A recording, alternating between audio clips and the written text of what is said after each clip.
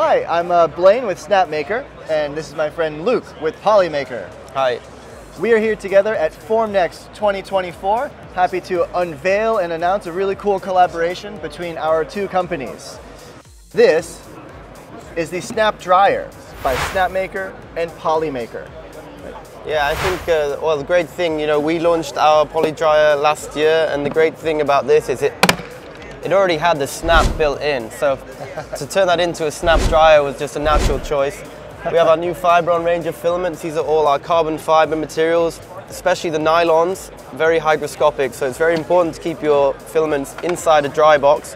We have a silicon gasket here, and then you get a really good seal um, to protect your filaments.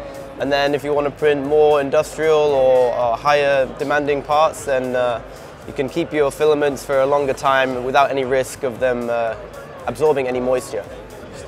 It's a fantastic product, uh, and just want to say thank you once again, Luke, and thank you, Polymaker, for everything that you guys do. We love you. Cheers from Formnext 2024.